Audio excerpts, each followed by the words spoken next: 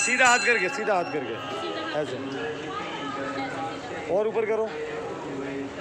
नीचे करो। साइड में ऐसे करना। अब करो ऊपर। दर्द होता है ऐसे?